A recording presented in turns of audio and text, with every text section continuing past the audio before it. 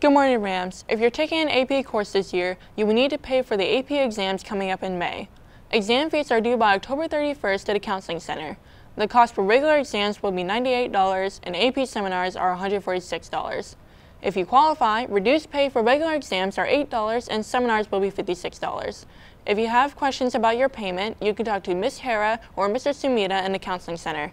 Remember, seniors, portraits are due by Saturday, October 7th, and if you've already taken your photos, then it's time to choose your shots.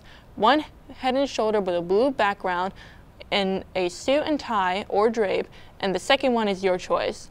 If you have any questions, you can email Miss Mina at denise.mina at k12.hi.us or you can find her in 201 in the old building. For anyone interested in the Radford baseball team, you can find Coach Tom in room 164 to get some details. Don't forget that after school tutoring is being held Monday through Thursday from 3 to 4.30 p.m. If you need to talk to a counselor about anything, you can find the QR code on the RAM report and scan it. Another thing, our final exams are being held next week, so remember school will be ending 11.55 Monday through Wednesday and will be ending 9.30 on Thursday. So make sure that you study as much as you can. Go Rams!